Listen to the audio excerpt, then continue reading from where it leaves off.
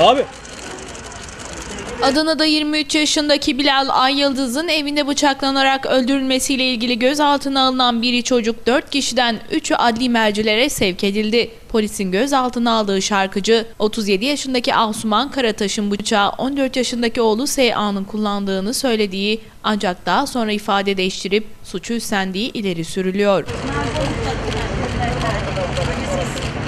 Edinilen bilgilere göre olay 8 Kasım Cumartesi günü akşam saatlerinde Merkez Seyhan ilçesi Yeni Baraj Mahallesi 68.050. sokaktaki Sezer 2. sitesinde yaşandı. Kavga seslerini duyan apartman sakinleri kapısı açık daireye girdiklerinde Bilal Ay Yıldız'ın bacağından bıçaklanmış halde ağır yaralı olarak buldu. Ay Yıldız acil yardım ambulansı ile sevk edildiği Çukurova Doktor Aşkım Tüfekçi Devlet Hastanesi'nde hayatını kaybetti. Adana Emniyet Müdürlüğü'nde ifadeleri alınan şüpheli Osman Karabaş iddialara göre erkek arkadaşı Bilal Ay Yıldız'ın öldürüldüğünü itiraf etti. Karabaş daha sonra suçlamayı kabul etmedi.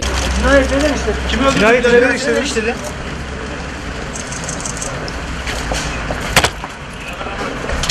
Emniyet Müdürlüğü'ndeki işlemlerin ardından sağlık kontrolü için adli tıp birimine getirilen Asuman Karabaş, annesi Makbule Karabaş ile EÖ soruları cevapsız bıraktı. Asuman Karabaş, annesi de anne sakın konuşma sus diye uyardı. Karabaş'ın suçladığı oğlu S.A.'nın ifadesi ise uzman psikologlar eşliğinde çocuk şubesinde yapıldı. Asuman bir şey söyleyecek misin? Anne sussana.